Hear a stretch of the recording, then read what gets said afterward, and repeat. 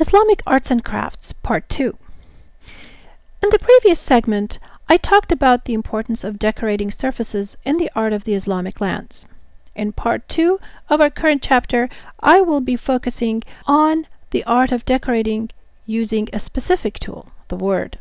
The art of calligraphy, in the context of what is believed to have been communicated through words from God to Prophet Muhammad, is highly regarded but it is not exclusively utilized for sacred purposes. The art of poetry among the inhabitants of the Arabian Peninsula, as mentioned earlier in the semester, was seen as the language of wisdom. The poets were viewed as sages and prophets, therefore, communicating eloquently with words was rather at an advanced level in the region.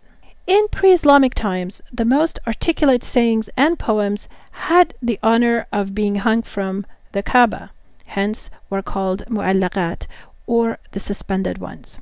In a community or culture that relies on words, but the majority of people are not educated to read and write, poetry and rhyming made perfect sense to remember the collective experiences.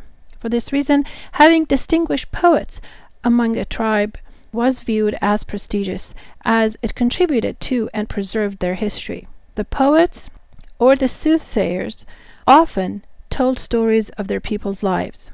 They celebrated their victories and lamented their defeats, and even denigrated other tribes by reciting satirical poems about them. Currently, however, there are only the Quranic verses that are found in gold and silver embroidery decorating the kiswa, or the garment of Kaaba. In addition to using words to express, Poetry was used to document and to decorate. The art of calligraphy, as a result, was developed to display such complex forms and styles that sometimes made it difficult to read, thus inclining more toward decorative than recording or informing. Learning about the style of various Arabic scripts becomes fascinating when one realizes that the letters of the language that is derived from pre-Islamic cultures such as Nabateans do not include vowels except for the first letter, letter A or Aleph. The meaning would have been understood from the context. Furthermore, the various styles and proportions were developed out of a system that measures the size of the letters in dots. For example, where the letters are more slender and tall, there would be more dots used.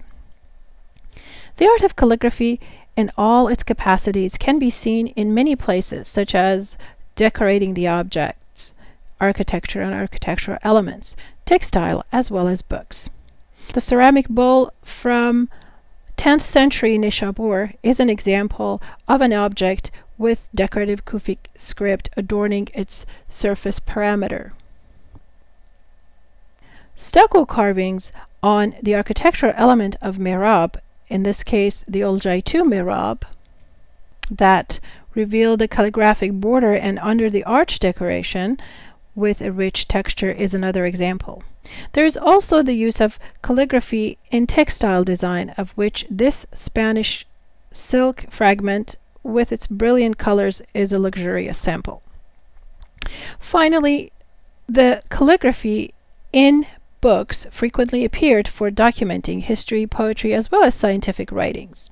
In a page from an illuminated manuscript called Kitab fi Ma'rifat al-Hiyal al-Handasiyya, Book of Knowledge of Ingenious Mechanical Devices by Al-Jazari from the 14th century, we see a drawing of an automaton water dispenser. The inscription sometimes contained pearls of wisdom and was meant to enhance the experience of the user. An Egyptian pen box, a similar but rather a later example than this image, from the early 14th century, bears an inscription that translates as Open the pen box of happiness through elevation, high rank, and continuing glory. Its pen, when they take its ink, are the poison of injustice and the conqueror of the stubborn enemy. Some argue that calligraphy for Islamic art was a great decorative idea because it allowed one to be creative yet remain abstract and adherent to the law of prohibition of figurative imagery.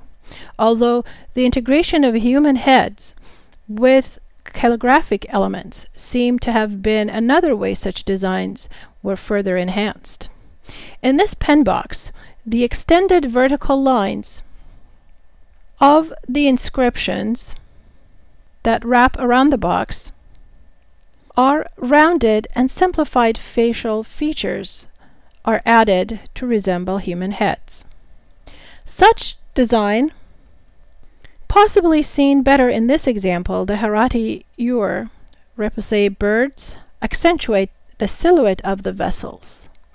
And I'm pointing to these. While the human heads peer through the interlocking vertical lines. Seen better in this close-up. Calligraphy in architecture, particularly in religious architecture, has been a significant tool in meaningful decoration.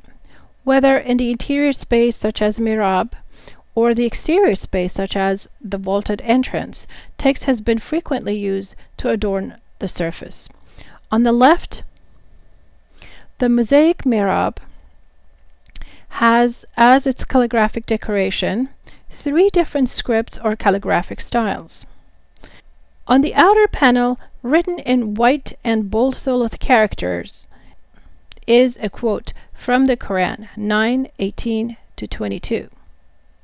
Around the pointed arch in dark color inscription against white background and in decorative kufic, there is a hadith on the five pillars of the faith. At the center of the niche the reference is to the hadith that translates as the mosque is the house of every pious person. The image on the right, typical of the Turkish Seljuk mosque or madrasa, in which the decoration would be concentrated around the entrance. In this case, the calligraphy forms a ribbon-like arrangement, knotted right on the top of the pointed arch at the entrance. Clearly, the obvious place of using calligraphy is in recording, writing, and decoration of the Qurans. In this image, the Egyptian frontispiece uses geometric vegetal design and integrated calligraphy. In the page from a Syrian Quran, the Kufic letters are written in black ink on vellum and decorated with gold. Another prominent place for the written word, of course, is hanging and decorative banners. In the banner of Las Navas de Tolosa, that was won as war spoils from the Almohads of North Africa during the reconquest by Ferdinand III, the banner is adorned with borders of Arabic inscriptions. Interestingly, the use of calligraphic design benefited those in power tremendously. The illuminated tugra was a sort of royal trademark that reflected the familial lineage. It was used to authenticate the firman or the Ottoman king's signature under official rules.